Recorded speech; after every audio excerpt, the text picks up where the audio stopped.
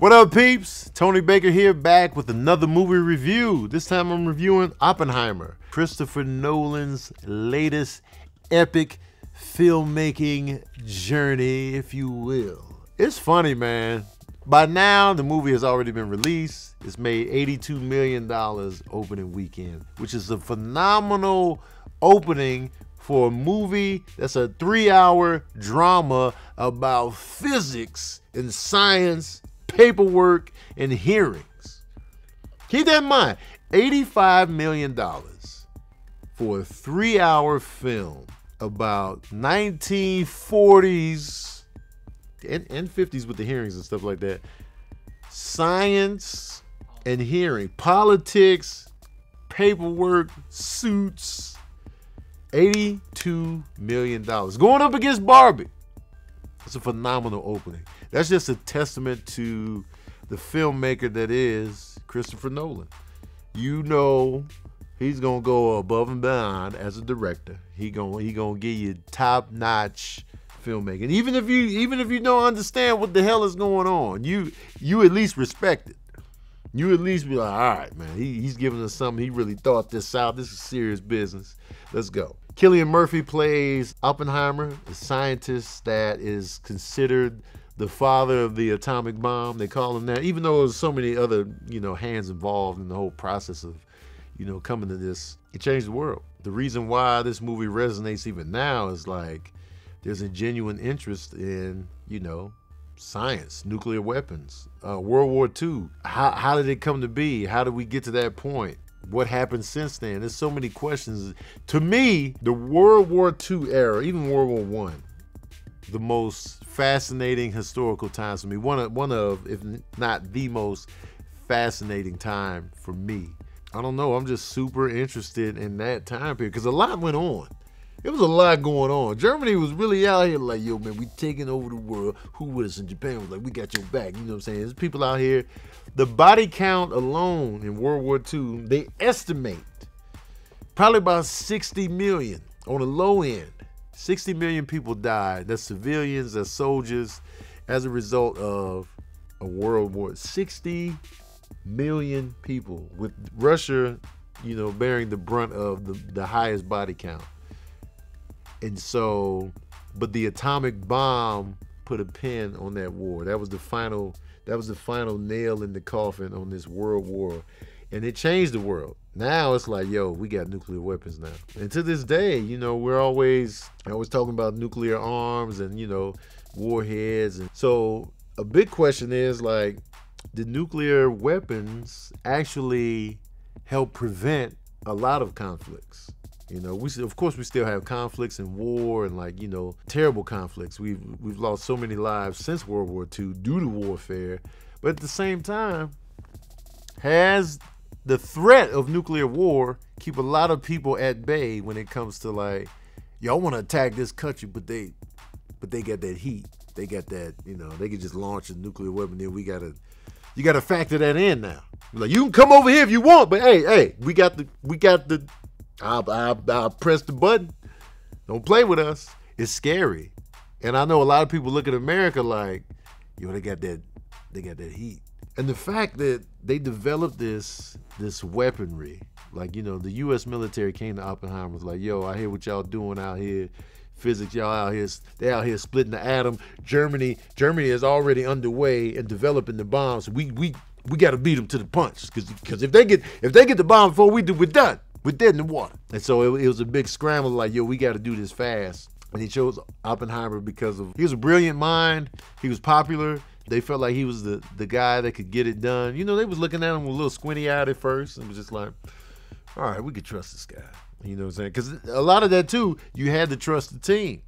Because you can have some cats out here that's selling information to the other countries, to the Axis, to the highest bidder. So you don't know who to trust, man. It's under wraps. And Oppenheimer was like, well, shit, let's give it a go. Uh, Christopher Nolan has an all-star cast, a lot of familiar faces. You got Cillian Murphy, you got Emily Blunt, you got Matt Damon, you got Josh Hartnett, who actually really delivered in this in this film. Robert Downey Jr. is a standout in this film. Um, he really did a great job as Strauss. uh, the guy that you know sought out Oppenheimer. You got Albert Einstein in this. You got Gary Oldman in this. You got so many familiar faces. I was surprised Michael Caine wasn't in it. I still think he's in it somewhere. I got to rewatch it just to see if I missed him. I really like the film that Christopher Nolan crafted. Now there is some titties in this movie. I'm just giving y'all the heads up. Some, surprisingly, some titties is, is in here. Some sex. I was not expecting that. I was like, man, we talking about we talking about atomic bombs in, in, in the 40s. Sex? Smash? Penetration? It's in there. So if you're bringing the kids with you, heads up. It's to come out of nowhere. It's to be titties in your face. They're to be right there. You got to take them with the family.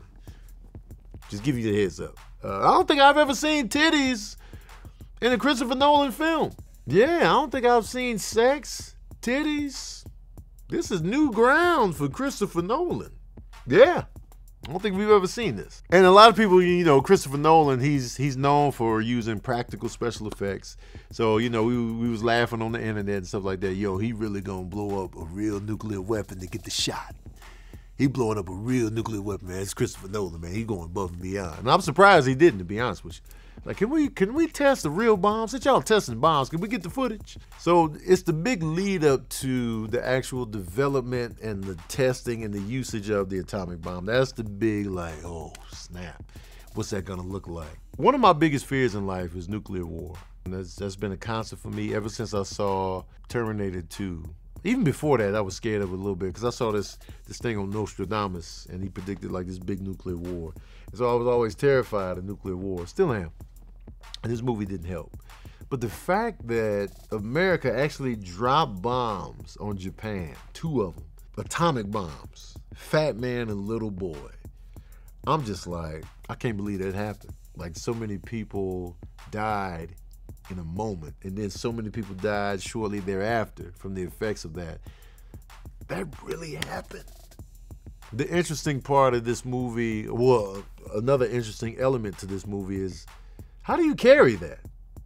How do you carry the development of something from a scientist's perspective? It's like, yo, we scientists are all about theory and testing that theory and then see if if, if it can be real. See if see if what we have applied can be real and practical and tangible and can it be done. So as a scientist, you'd be like, yeah, we really developed the bomb. But then on the on the back end of that, comes the application of what you created. Now you created something that could really destroy the world. Like all out nuclear war can kill us all. Earth will still be here, of course, but we out. So to actually develop that from a scientific standpoint, we have created our own demise in a in a lab on a base in New Mexico. So now it's just like, damn. So now you're you're grappling with that. Like, you know, how did how did he carry that as a man? Like, you know, because I think about that all the time. Like, Harry Truman gave the go ahead to drop the bomb. How did he sleep at night? They portray him as somebody's like, yo, I was just doing my job. I did, I did this to end the war. But on the back end of that, there was a lot of innocent people that died. It wasn't like they just dropped this on the military base in Japan. They dropped it in the middle of a city. So it's just like people just living their lives, going to work, going to school, just existing. No warning. No warning. They're going on about their day and then boom. I pray to God I'm incinerated in the first. I pray to God I'm like right underneath the bomb as it detonates so I can get that million degree heat because I won't even. It would happen so fast I wouldn't even. I'll just see a flash and I'm I'm out of here.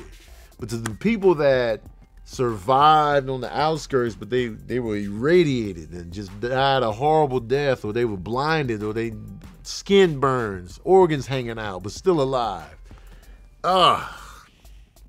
I couldn't imagine holding a carrying that way. We all want to be great in life. We all want to do something major. But goddamn, something like that. I don't know if I want that, man. But forget all that. Y'all want to know the smooth jazz review of Oppenheimer. Well, here it is. Oh, yeah. I'm giving Oppenheimer a soft four saxophones out of five. I was kind of let down by the by the actual bomb, but I was compelled throughout. I was really invested in the development of this atomic weapon and also what happened on the back end too. I felt like they could have went a little bit further and even though the story is about him, the man, I still wanted further examination into the actual dropping of the bomb on Japan. But I, I was definitely invested because that time period, man. But it's a soft four saxophones. I put it above Dunkirk and Tenet and Insomnia. But, you know, if we compare Christopher Nolan movies, I would still put it underneath. I'll put it underneath even Interstellar and The Dark Knights, Memento, Inception, The Prestige. But yeah, but once again, Christopher Nolan, I'm glad he exists. I'm glad he's out here making movies, man. But I don't know, man. Some of the times, though, I felt like the music was too loud. It was like mad music going on that built up into nothing. He was like, it was just mad orchestra, and he was writing on the chalkboard. All right, that's my review of Oppenheimer. Let me know what you thought of the movie in the comment section below. Who stood out for you performance wise? Cillian Murphy delivered as Oppenheimer. Like, you know, uh, I was really intrigued by that man. I was like, yo, this dude wasn't born, he wasn't stiff. He was more loose than I expected.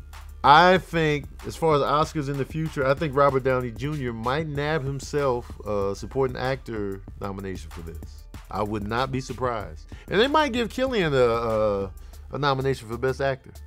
And low key, Emily Blunt might she might nab a little a little nomination. I wouldn't be surprised. But who knows? I definitely feel like Christopher Nolan will definitely get an Oscar nomination as Best Director. For sure. For sure. And I don't think he's won one yet, has he? He should have got. He should have won one for The Dark Knight, but that's neither here nor there. I think he went up against No Country for Old Men that year, though. But anyway, let me know what you thought of the movie in the comment section below. What performances stood out for you, and what's your favorite? What's your favorite? Give me your your top four. Give me your Mount Rushmore Christopher Nolan movies. Let me know in the comment section below. Don't forget to like, share, and subscribe. And as usual, we out here.